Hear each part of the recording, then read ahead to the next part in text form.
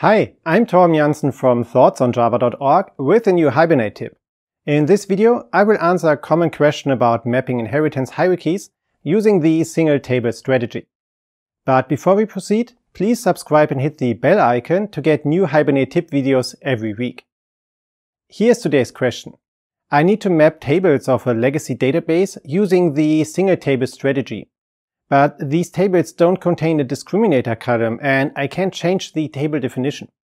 Is there any other way to define the mapping to a specific subclass? Yes, Hibernate provides a proprietary annotation that allows you to provide an SQL snippet that returns a discriminator value. So you don't necessarily need a discriminator column. But let me start at the beginning.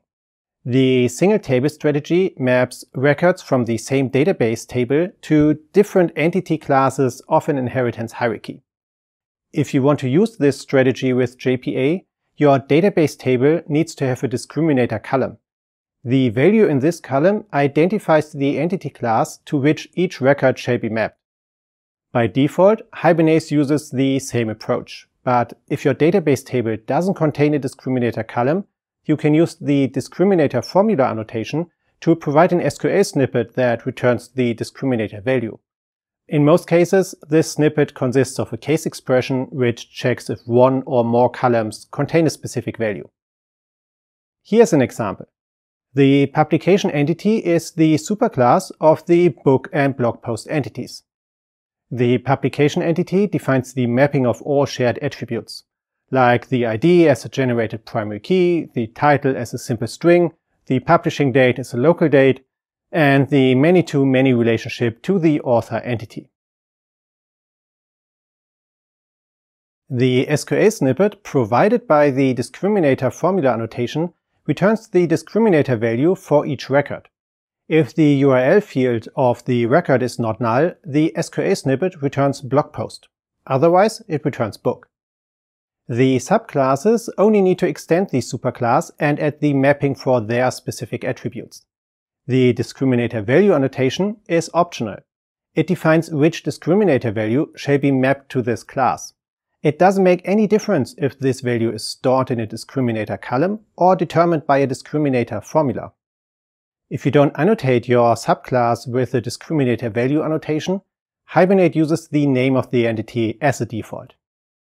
Let's do a quick test and check if the discriminator formula annotation works as expected. As you can see in the code, I use a simple JPQL query to select a book entity with a given ID.